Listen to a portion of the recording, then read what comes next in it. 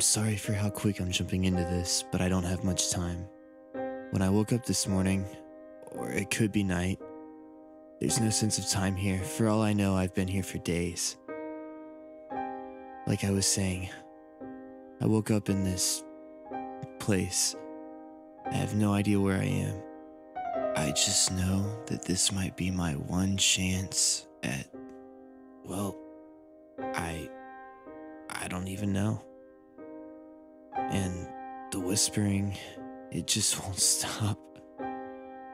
I guess this is a warning. Although, I don't know how you would avoid this happening to you. All I can tell you is what's happening to me. I woke up lying face down on a cold metal table. As I craned my head to the side, I found myself in a strange white room. The first thing I noticed about the room was how eerily clean it was. The walls and floors were a matching shade of white that flowed together so perfectly that it was hard to tell where the floor stopped and where the walls began. In fact, the only reason I could tell the room wasn't round was that I could see a table up against the far wall with a wide array of surgical tools.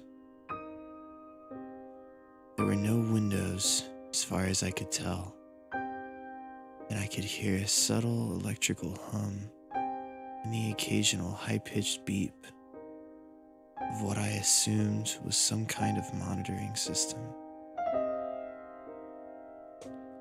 Is this a hospital? I thought to myself.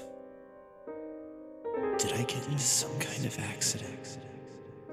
Not even a minute after I had woken up, I could hear footsteps echoing just outside the room behind me where I assumed the door was.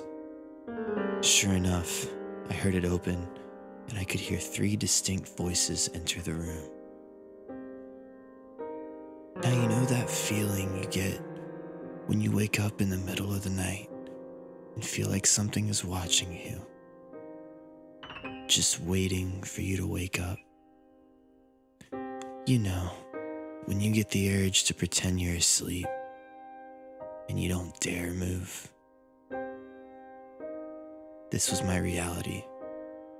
I didn't know why I woke up in that room, but I knew that this was no hospital, and these men were not doctors. I don't know how, but I just knew something wasn't right. So I pretended to be out cold. I just wanted it all to be a dream. I wanted this all to be a really bad dream. As I lay there pretending to be unconscious, I could hear them mumbling to each other. This unnerved me. Do they know I'm awake? I tried to steady my breathing as one of the men walked closer. I felt a cold, wet sensation on the back of my neck and recognized it as one of those little alcohol pads. Before I could put two and two together, the needle pierced my skin and the thick, coarse liquid made its way into my bloodstream. I couldn't hold it together anymore. My whole body was seizing up. It felt like they had injected me with cyanide. Every muscle in my body was convulsing. I felt my back bend back way further than it should have been capable of. I remember trying to scream, but being in too much pain to do anything but squirm. The pain kept increasing until finally my body grew very stiff, and I found myself unable to move. And though I'd lost my ability to move, the pain started to slowly subside. All right, Doctor, we've seen enough. Proceed to phase two. A woman's voice said over an intercom system. Still unable to move, I felt that same cold, wet sensation again. We're cleared to administer the sedative, Doc, said one of the men in the room. I felt another needle pierce the back of my neck. What the fuck is happening to me? I remember thinking as the world slowly faded away. I awoke sometime later in complete darkness, gasping for air. My body was extremely sore all over from the stress and trauma it had just went through.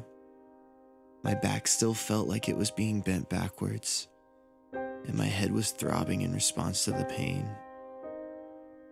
In all honesty, I was surprised to still be alive. I knew I was going to die if I stayed there. Just then, the lights flipped on in a blinding flash. I could hear footsteps and voices outside the door. When I tried to move, I realized I was strapped down at the table this time, and my attempts of breaking free only made the throbbing in my head worse. So I lay there, ready to accept my fate. I say that now like I had courage. When the door opened, I once again pretended to be asleep. I hadn't seen the men before, as I was facing the other direction, and I didn't want to this time. It's funny how we can give ourselves a false sense of security by pretending to be unaware of danger, even in the most dangerous of circumstances. This time, though, it gave me more than security. Two men had entered the room this time. As scared as I was, curiosity got the better of me. I snuck a quick peek. They were both wearing white lab coats. One looked to be in his mid 20s and was writing something down on a clipboard. And the other, a much older man, was preparing a syringe. And the size of the needle made me sick. Was that what they stuck me with earlier? I quickly shut my eyes and went back to the safety of pretending to be unaware as they both began to approach the table. I'm still not sure about all of this. This wasn't exactly in my job description. I didn't go to med school for this, said the man with the clipboard. None of us did. Better them than us. Here, why don't you inject this one? He seems to be well sedated, unlike the others. And don't worry, eventually it gets easier. The money makes it worth it, said the man with the syringe. Now I'll undo the restraints so we can turn him over. Remember, we need to get this done quickly and prepare the specimen before the observation team arrives. The men were standing on either side of the table. As soon as the restraints came off, I grabbed for the first thing I could which happened to be the younger man's shirt collar. I yanked him down in an effort to pull myself up, sending him falling into the table. The older man let out a cry as the needle plunged into his gut. He pulled it out as quickly as possible and immediately ran from the room, screaming for help. He tried to run at least. He ended up knocking over a table on his way out, littering the floor with surgical equipment and empty syringes. My body was on fire. My head felt like it might explode from the sudden shift in movement. Just then, the younger man tackled me to the ground. As I hit the floor, my leg was impaled by some sort of scissor looking tool. I screamed in pain. He was attempting to put me in a sleeper hold, and I was slowly losing the will to fight. At the last second, my hand found an empty syringe, and I stabbed at his head as hard as I possibly could. It wasn't hard enough to kill him as he screamed like I never heard a man scream before in my life. The syringe had stabbed him through his eye and out through the side of his face. He was on the ground, writhing in pain. I didn't know what to do. I left him there and ran out of the room. Down the hallway, I could see the older man convulsing and bending in ways that shouldn't have been humanly possible. Then the creepiest thing happened. He turned and looked at me dead in the eyes. His face of pain slowly turned in to a grin that stretched from ear to ear. I turned and ran, seeing an elevator at the end of the hall. When I turned to look behind me, I saw the man crawling along the walls, chasing after me.